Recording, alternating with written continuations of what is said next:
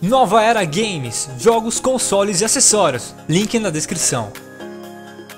Mestre do COD aqui, galera, e hoje trazendo para vocês mais um vídeo, galera. Dessa vez aqui com mais uma gameplay do COD World War 2, gurizada. Demorei um pouquinho para trazer vídeo, mas finalmente estou aqui de volta para trazer para vocês esse vídeo aqui. E nesse vídeo de hoje vamos estar falando dos pontos positivos e os pontos negativos. E também vou estar falando um pouquinho sobre a vida útil desse COD, cara, se eu acho que ela vai ser longa, se eu acho que ela vai ser curta, então se você quer saber, assiste esse vídeo até o final, beleza? Mas antes de começar aqui minhas opiniões, uns pequenos avisos, galera, faz uma semana mais ou menos que eu não posto vídeo no canal, uh, porque o último vídeo que eu postei no canal, infelizmente a gente não bateu nossa metinha de likes aí de 300 likes. Então por isso eu demorei um pouquinho mais para estar tá trazendo esse vídeo aqui. Então se você gosta do canal, se você gosta dos vídeos, galera, deixa o like aí, se bater os 300 likes nesse vídeo aqui, a gente traz vídeo com mais frequência aqui para o canal, beleza? Então dá uma fortalecida, galera, não custa nada aí, dá uma incentivada a nós estar trazendo mais vídeos, beleza? Outra coisa, galera, eu peço desculpas sobre essa gameplay aqui. Essa gameplay foi tirada da, de uma live que eu fiz então pode ser que esteja, você acha que provavelmente vocês vão estar ouvindo uma segunda voz minha de fundo aí, porque eu peguei da live, então acabou que ficou minha voz. Eu vou assistir depois o vídeo, se eu achar que ficou muito ruim, eu vou deixar a gameplay então sem o, o áudio da gameplay, somente a minha voz aqui para vocês, acho que daí vai ficar melhor. Vamos testar e depois a gente vê, beleza? Vamos começar então, galera. Bom, os pontos positivos, logo que eu comecei a beta, uma coisa que me chamou demais a atenção, foi a primeira coisa que eu reparei foi o áudio do jogo que tá simplesmente sensacional, cara. A ambientação do áudio, assim, das granadas, das armas, eu achei que ficou muito bacana. Tu se sente mesmo dentro do jogo. Pelo menos eu escutando de headset, né? Eu não cheguei a jogar uh, pelo som da TV, mas de headset, cara, tá muito bom. Em relação a ouvir passos, vamos falar um pouquinho disso aí. Uh, não tá que nem era no Black Ops 2, por exemplo, mas também não tá tão bom quanto era no Black Ops 3. Vamos explicar um pouquinho melhor. No Black Ops 2 não dava para tu ouvir os passos muito bem. Já no Black Ops 3, tipo, o carinha tava a 1 km, se tu estivesse usando consciência, tu escutava ele.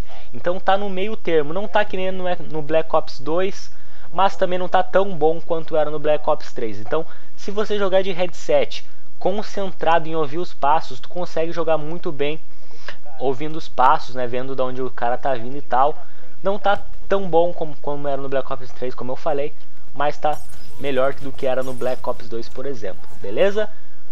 E outra coisa que eu gostei também, acho que o time to kill não tá tão ruim, normalmente isso me preocupa bastante, um time to kill rápido é uma coisa na qual eu não gosto. Eu não sei se é porque tava meio lagado também, galera. Como essa beta não tinha como tu vê a conexão, o ping, pode ser que como tivesse um pouquinho lagado lá no começo quando lançou a beta, então não tem como dar certeza sobre o time to kill ainda. Então a gente vai ter que esperar um pouquinho até o jogo lançar pra gente ver.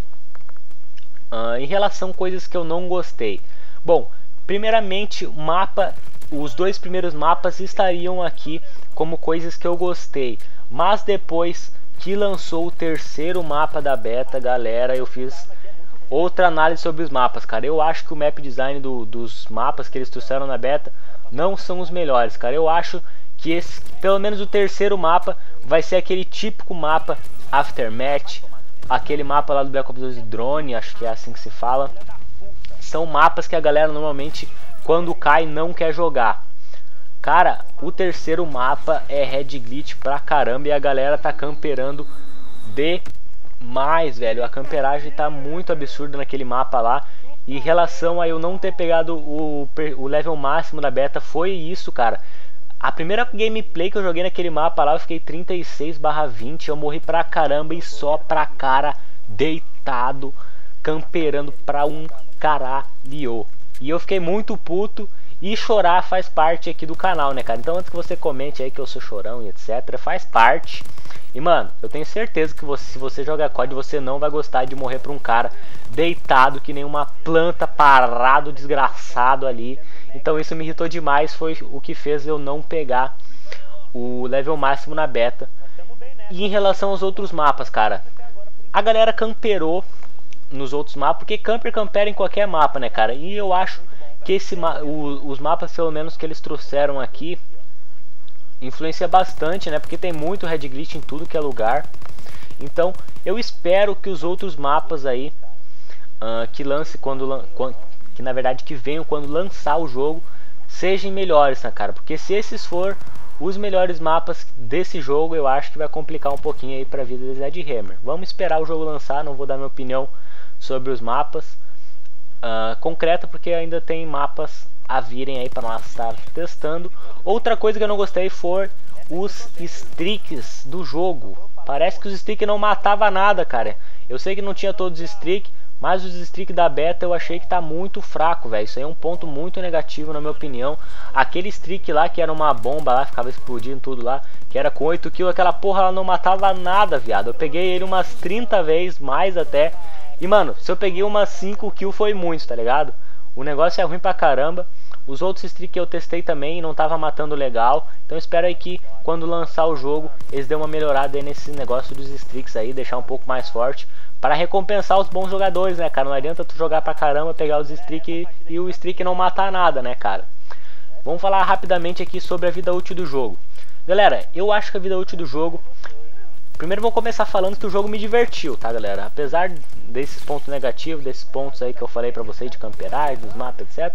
Eu me diverti jogando com o jogo. Eu não acho que esse jogo vai ser uma vida longa assim que nem foi no Black Ops 2, que até hoje a galera joga. Mas também não vai ser uma vida curta, por exemplo, desse jogo. Eu acho que a galera vai jogar, eu acho que vai ser tipo um Black Ops 3 da vida. Pelo menos pra mim foi, o Black Ops 3 foi o seguinte. Foi um código no qual eu joguei até pegar Prestígio Master, depois eu dei uma aliviada, não joguei pra caramba que nem eu jogava no começo. Acho que a vida útil desse jogo tem tudo pra ser bacana, vamos ver quando o jogo lançar, beleza? Então galera, o vídeo de hoje foi esse, espero que vocês tenham gostado, se vocês gostaram, deixa aquele like, batendo 300 likes aqui a gente traz mais um vídeo aqui pra vocês, beleza? Espero que vocês tenham gostado, deixa a opinião de vocês aí embaixo, e é isso aí. Valeu, falou, é nóis! Get, get, get, get low when the whistle go.